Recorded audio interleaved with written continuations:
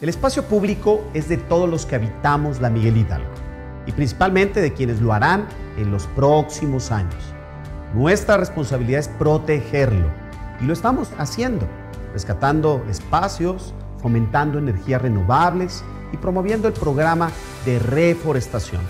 El compromiso es con el medio ambiente, con la protección de áreas verdes y el patrimonio cultural y arquitectónico de la Miguel Hidalgo. Pero sobre todo, el compromiso de corazón es con nuestros hijos.